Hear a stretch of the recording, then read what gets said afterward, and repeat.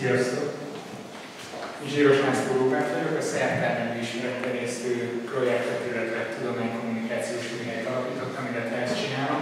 Nagyon örülök Henny előadásának, mert egy csomó mindenről kell beszélnem. Sokféle megközelítésben lehetne erről a témáról beszélni, tételezzük fel, hogy egyetértek vele. A következő percekben inkább arról szeretnék beszélni, hogy hogyan gyűrűzik be az oktatásba az a szemléletmód, ahogy különböző kézzel fogható tárgyakat tudunk alkotni, és erre tudjuk buzdítani elsősorban a diákokat.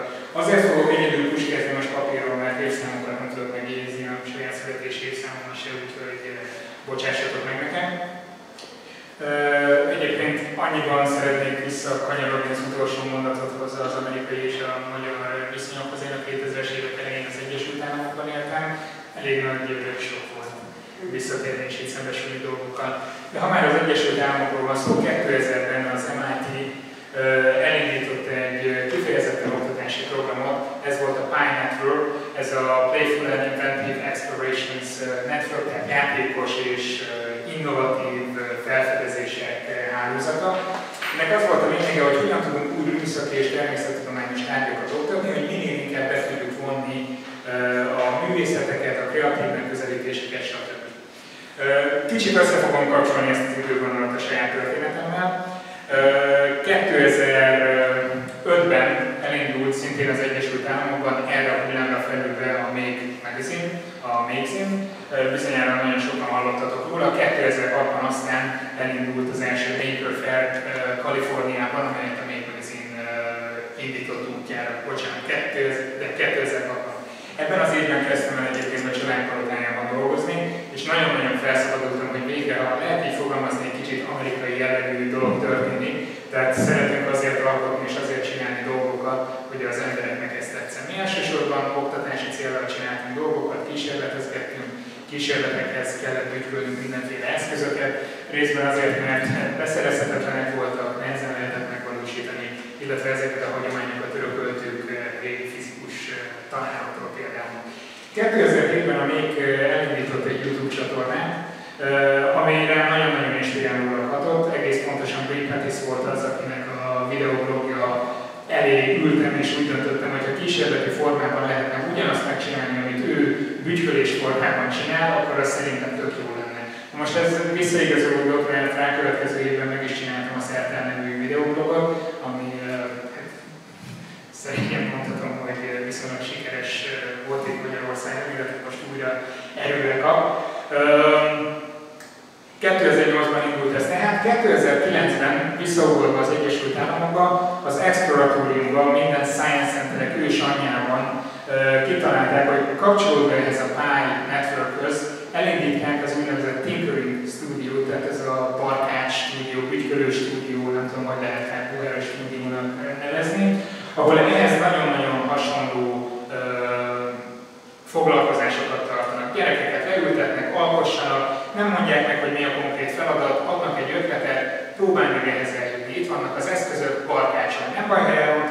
majd mi segítünk, majd mi megpróbálunk irányba terelni, és el fogod érni a célodat. Ez volt nagyjából a mondani valója, azóta nincs olyan Science Center, haladó Science Center a világban, ami nem adaptálná ezt a, ezt a hozzáállást. Ez le fog csengeni persze, tehát ezt szeretném hozzátenni, hogy 10 év múlva nem fogtok ilyeneket látni, csak a lemaradott Science Centerekben. Most jelenleg ez egy nagyon nagy trend, szinte mindenütt látható a világban, elég a Győrbe elmentek, különösen majd a múzeumok éjszakáján 25-én, tehát akkor akár ki is lehet próbálni nagyon sok mindent.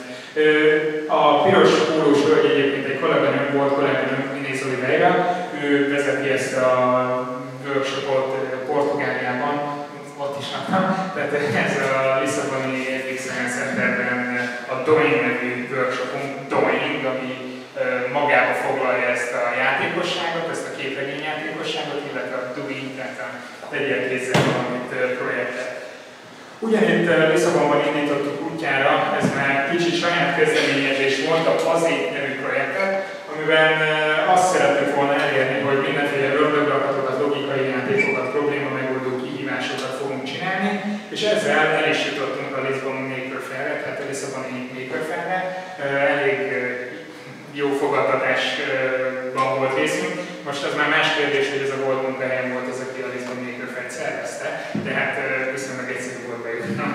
De egy szó azt állítják a szervező kollégáim, hogy nem volt semmilyen ilyen elfogultség itt ebben az esetben. Oké, okay. villámgyorsan végigpörgetek néhányat. Megérkezünk a tavalyi évhez, amikor egy nagy tech cég, nem tudom, kitaláljátok innen a képről vagy akár a fórumról, azzal keresett meg minket, hogy nem tudnánk esetleg kutatók éjszakájára kitalálni nekik valami programot, amivel be lehetne vonni az embereket, barkácsolhatnának és csinálhatnának dolgokat, és nagyon-nagyon szerethető lenne az egész projekt. Hát ebből született aztán, elég összefelmondás, ebből született aztán az Ericsson Robos Kids Challenge, amikor rajzoló robotokat kellett háztartási eszközökből készíteni. Bementünk az IKEA-ba, megvásároltunk nem tudom hány száz kis cappuccino kevergetőt, kiszedtük a motort, azt adtuk a gyerekeknek néhány filctollal, alkossatok,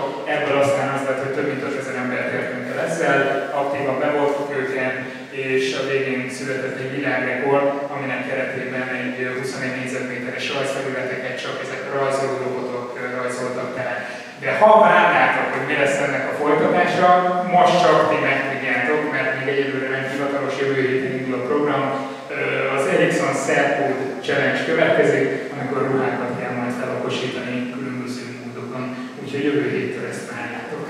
Köszönöm szépen!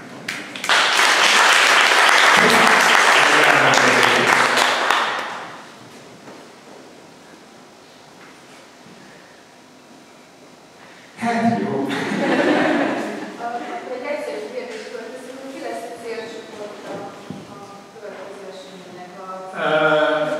Négy kategóriát hirdet az S kategória ruhák közigazgatva, az a legkisebbeket célozza, tehát az kifejezetten omisabb tíz év alatt ki gyerekeket válnak egyébként alsó tagozatosok, fogadások.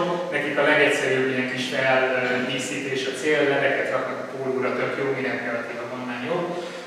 Az MS kategória lenne az, ahol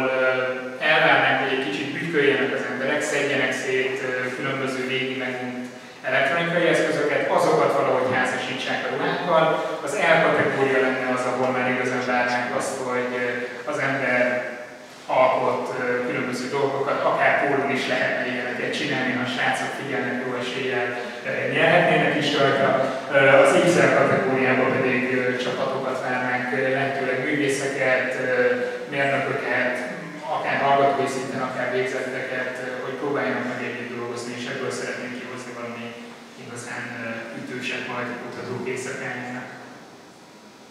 Igen? Nagyon aranyos.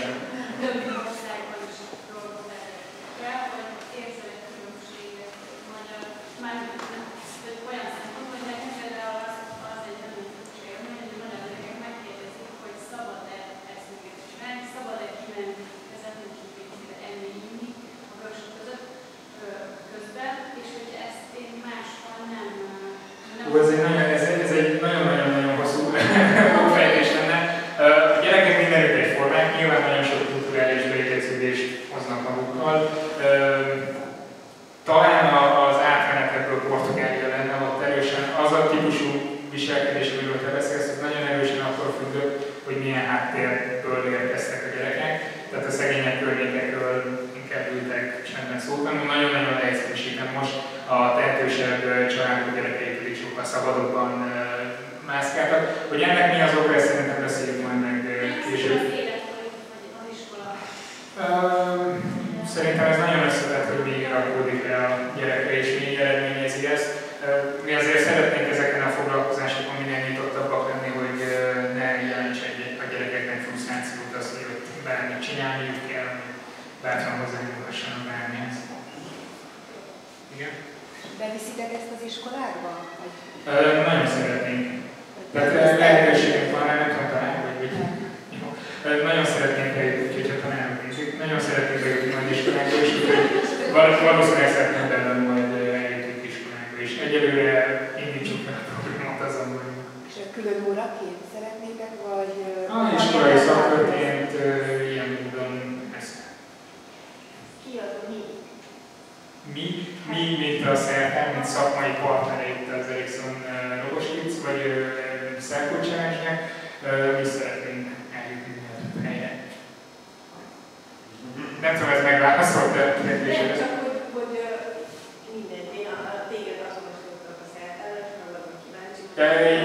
Egy, egy sráccal dolgozom együtt, tehát a szertervező két emberből áll jelenleg, viszont ezeken a workshopokon rengeteg diák segítünk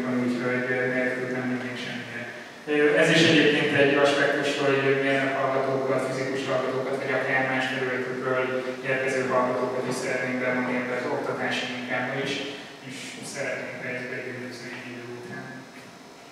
Egy nagyobb szentet szépen.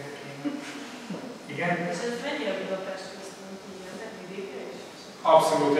Tavaly kísérleti jelleggel mentünk el hat helyszínre, illetve ebből négy vidéki helyszín volt. Az idén tíz helyszínre megyünk, úgyhogy lényegében körbepöttyözzük az egész országnak. És mi alapján Hát hol van fogadókészség, hol vannak olyan városok, ahol, ahol jó eséllyel célba is található a program, tehát ezeket próbáltuk elemezni, hogy mi az a hely, ahol a legcélszerűbb lenne jutni. Reméljük, hogy ez kifut és jövőre még jobb lesz, még jobb lesz, akkor minél több helyre el fogunk tudni jutni. De egyelőre